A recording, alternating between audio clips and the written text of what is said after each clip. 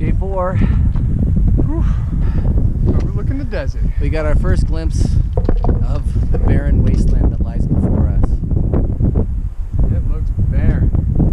Yeah, it does. There's nothing alive down there. Try this.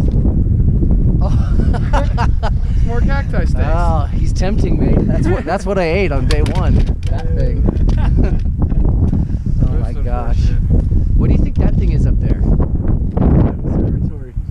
observatory? Or a Doppler? It's gotta be an observatory. High altitude? Probably. It looks important, whatever it is. Check it out. I think hiker friendly.